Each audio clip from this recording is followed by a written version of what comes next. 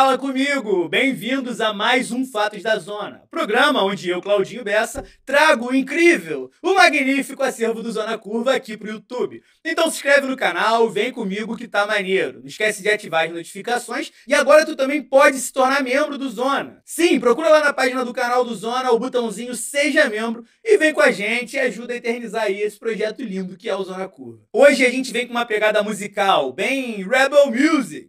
Rebel Music! E falamos do genial disco A Sociedade da Gran Ordem Cavernista apresenta a Sessão das 10. E a gente volta lá para 71, quando um quarteto de músicos praticamente anônimos gravou um descasso recheado de humor e transbordante criatividade. A ideia da Sociedade da Gran Ordem Cavernista apresenta a Sessão das 10 nome grande. Foi do Raul Seixas. Na época, ele era produtor da gravadora CBS e convocou seu conhecido da Bahia, Ed Star, e o capixaba Sérgio Sampaio. A gente tem um vídeo só do Sérgio Sampaio aqui, então se inscreve aí e vai lá ver, pô. Em 1970, Sérgio havia acompanhado o músico Odibá em uma audição na CBS, e ambos tornaram-se parceiros musicais e amigos. Faltava uma mulher para completar o time, e a escolhida foi Miriam Batucada, que era mais conhecida do quarteto por suas participações em programas televisivos com as suas habilidades de batucar com as mãos. Acompanho a bateria, batucando assim na mão.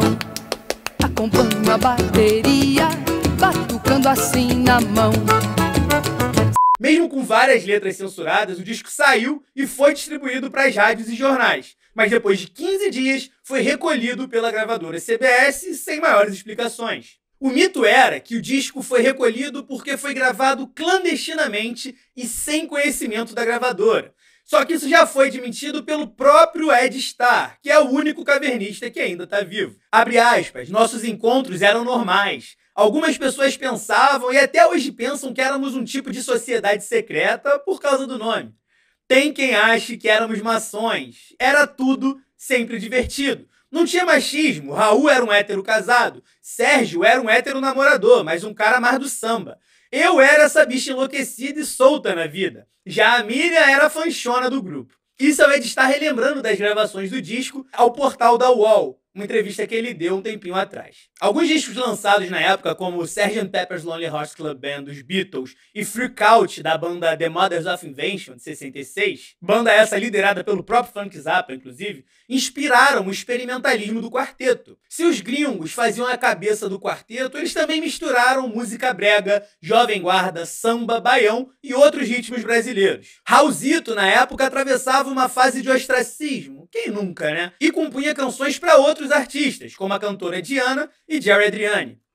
Se a Philips era a casa dos medalhões da MPB, a CBS, onde o Raul trabalhava como produtor, lançava discos de uma linha mais Zé Polvinho. Era a fábrica de ilusões, segundo o próprio Raul no documentário Dossiê Cavernista de Luiz Magalhães. Sérgio Sampaio não se conformava em conviver com o vulcão criativo que era o Raul Seixas, mas que estava adormecido. Então incentivava a retomada de sua carreira como cantor e compositor. No disco, os dois baianos, um capixaba e uma paulista, ironizam o nascente showbiz brazuca, em seu principal centro, o Rio de Janeiro. Na faixa Quero Ir, os músicos estão preparados para abandonar o Rio após o fracasso. Eu vou para Bahia, ou volto para Cachoeiro de Itapemirim. O sol é quase nada,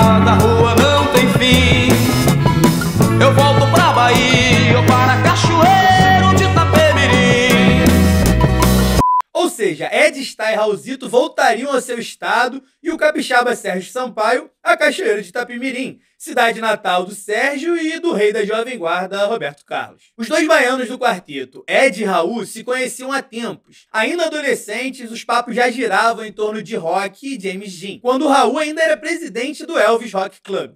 Mais tarde, ambos se trombavam em suas andanças pelas rádios da capital baiana. Depois do semi-lançamento do disco, Raul permaneceu por pouco tempo em seu cargo na gravadora CBS e se desligou em 1972. O álbum ganhou diversas reedições ao longo dos anos, sendo a última em 2010 pela Sony Music. No documentário Dossiê Cavernista, o Ed Star relembra que um dos diretores da CBS passou um ríspido sermão sobre os possíveis motivos do fracasso do disco. Abre aspas não fizemos nada. Saímos de lá, fomos queimar um fumo e dar risada.